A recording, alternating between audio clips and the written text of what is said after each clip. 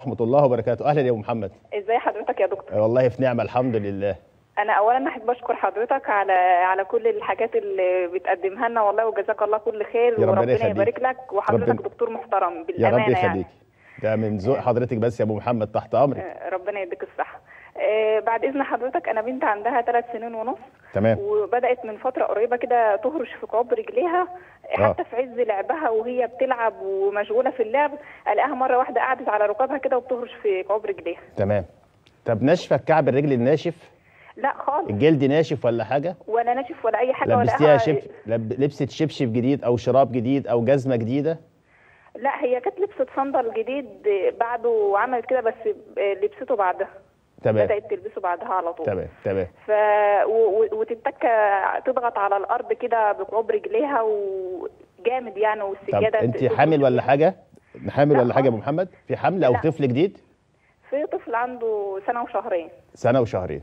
طيب. أيوه. طب بتكمل لعب عادي؟ يعني المفصل بتكمل رجليها دي. مش هي ما مش فيش معطلها خالص مش معطل عن أي عن حاجة. اللعب. لا خالص. ماشي حاضر. بس في هي مشغولة في عز لعبها كده ألاقيها مرة واحدة قعدت ترش وتقوم تكمل تاني. طيب ماشي ماشي. شكرا لحضرتك. شكرا لاتصالك يا أبو محمد. اولا شكرا يا محمد على على المجاملة الرقيقة من حضرتك دي وبشكر حضرتك. ويا أستاذ علاء رجب يا كبير المعدين بتاعنا والله أنا مش موصي أبو محمد ولا حاجة ده هي متطوعة شكرت شكرتنا وشكرت قناة الحياة.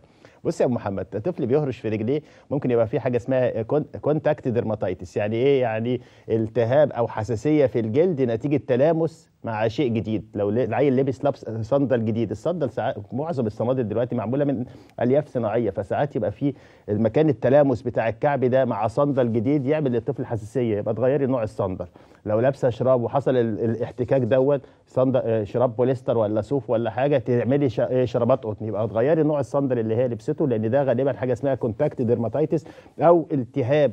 أو أو حساسية في الجلد نتيجة التلامس مع مادة هي مش مرتاحة لها. فغيري نوع الصندل هات لها صندل يبقى النعل بتاعه آه، متبطن بقطن ولا حاجة لأن الحاجات الب- البوليستر والحاجات البلاستيك والحاجات الصناعية دي ممكن المادة دي بالذات عاملة للطفل مشاكل.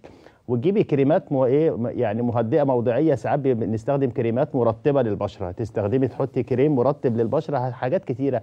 هتلاقيها في السوق موستيلا ولا فانو ولا أي حاجة تحطيه الكريم ده ترطبيه الصبح مثلا وهي صاحية من النوم ترطبي الكعب بتاعها بالكريم المرطب دون عشان لما يحصل تلامس ما تقعدش تهرش في الكعب. فهرش في الكعب ده معناها إكزيما أو معناها حساسية في الجلد. مع التلامس مع أشياء جديدة عليها والأشياء الجديدة دي هي حساسة ليها شوية. ممكن يبقى كعب الصندل ممكن يبقى شراب. ساعات في أطفال تلاقيين تلاقيها تهرش في إيه؟ في في في, في صوابعها.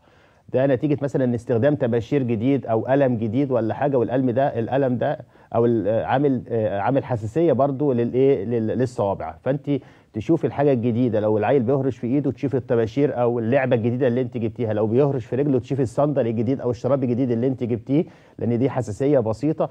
نحط كريم مرطب ولو زاد الهرش قوي ممكن تستخدمي أي مادة بمضادات الهستامين في- فينستيل وكلاريتين زيرتيك أي حاجة عشان تهدي الهرش اللي هي بتهرشه ده. وما تقلقيش خالص يا ام محمد. ومرة أخيرة بشكرك على المجاملة الرقيقة بتاعت حضرتك.